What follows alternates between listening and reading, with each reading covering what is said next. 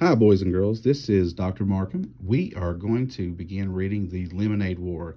I think you're going to really enjoy this book, and we're going to do a lot of fun activities uh, throughout the next couple of weeks with the book. So let's get started with Chapter 1. Chapter 1 Slump. Slump. Noun. A drop in the activity of a business or the economy. Evan lay on his back in the dark, throwing the baseball up in a straight line and catching it in his bare hands. Thwop, thwop. The ball made a satisfying sound as it slapped his palm. His legs flopped in a V. His arms stretched up to the ceiling. And the thought that if he missed, he'd probably break his nose, well, made the game just more interesting enough to keep on going. On the floor above, he heard footsteps, his mother's, and then a long, loud, scraping, groaning sound. He stopped throwing the ball to listen.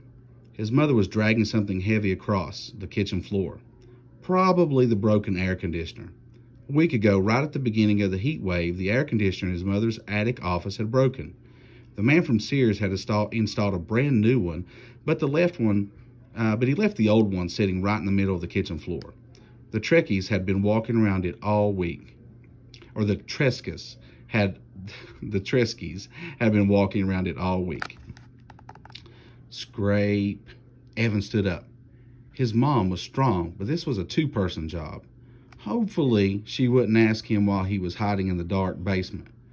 And hopefully, Jessie wouldn't be in the kitchen at all. He'd been avoiding her for two days now, and it was getting harder by the minute. The house just wasn't that big. Evan had his hand on the railing when the scraping noise stopped. He heard footsteps fading to silence.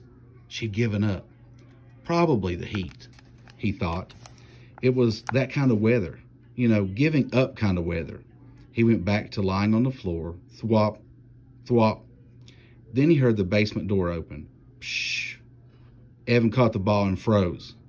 Evan? Jessie's voice sounded echoey in the darkness. Evan, you down there? Evan held his breath. He lay completely still.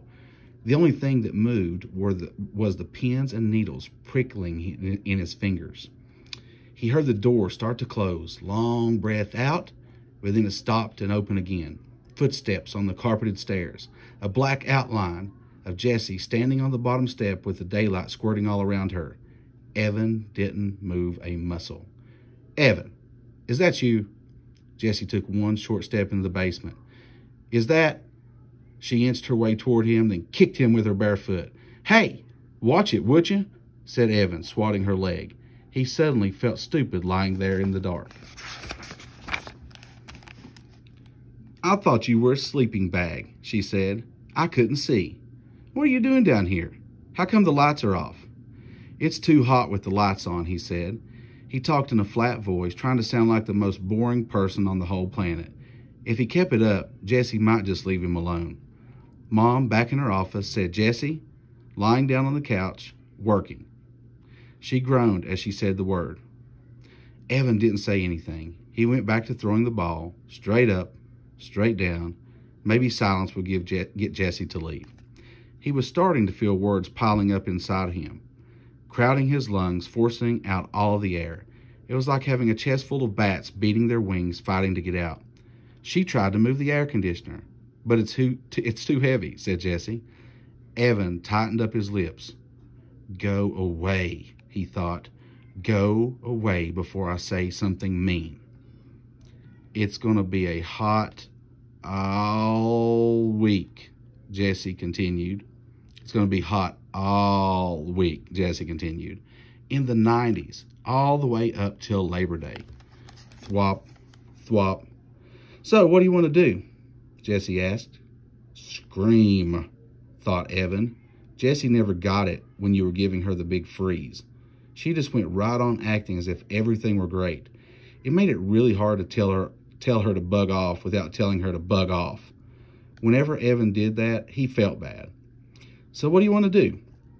Jessie asked again, nudging him with her foot. It was a direct question. Evan had to answer it or explain why he wouldn't, and he couldn't get into that. It was too, too complicated, too hurtful.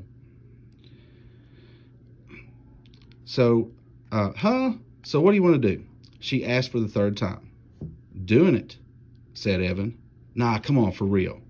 For real, he said. We could ride our bikes to the 7 Eleven, she said.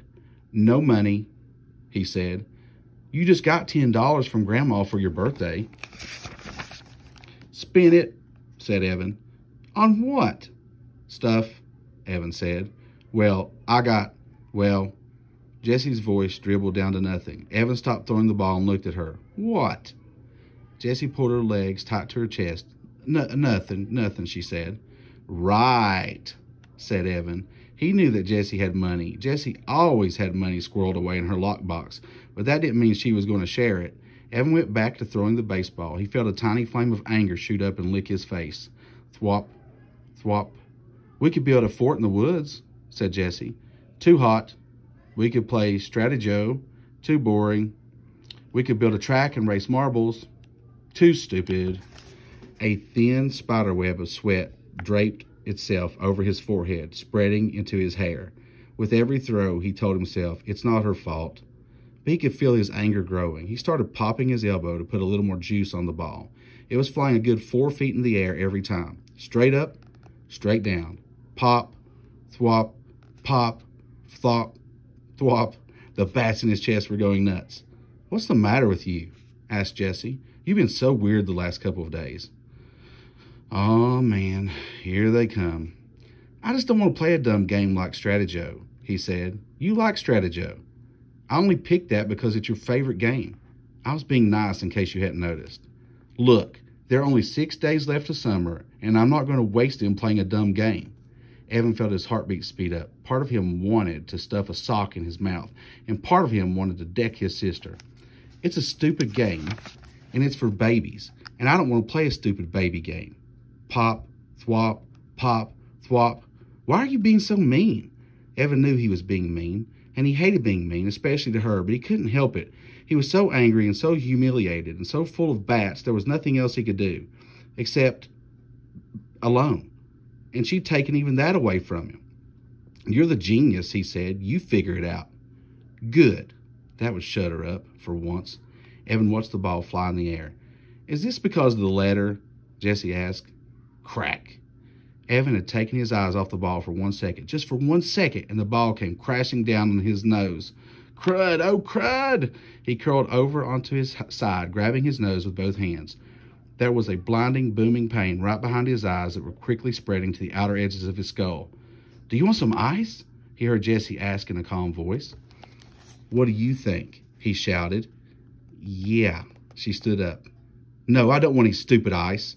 The pain was starting to go away like a humongous wave that crashes with a lot of noise and spray, then slowly fizzles away into nothing. Evan rolled to a sitting position and took his hands away from his nose. With his thumb and index finger, he started to pinch the bridge. Was it still in a straight line? Jessie peered at his face in the dim light. You're not bleeding, she said. Yeah, well, it hurts, he said. A lot. Well, it's not broken, she said. You don't know that, he said. You don't know everything, you know. You think you do, but you don't. It's not even swollen. You're making a big deal out of nothing. Evan held his, held his nose with one hand and hit his sister's knee with the other. Then he picked up the baseball and struggled to his feet. Leave me alone. I came down here to get away from you, and you just had to follow. You ruined everything. You ruined my summer, and now you're going to ruin school. I hate you. When he got to the bottom of the steps, he threw the baseball down in disgust. Thud. Wow, that was an interesting chapter. I'm excited to learn what happens next. So we have several of our characters, and we're going to find out exactly what this, uh, what has caused the conflict in chapter two. So I look forward to hearing our guest reader for chapter two. Enjoy the rest of your day, boys and girls.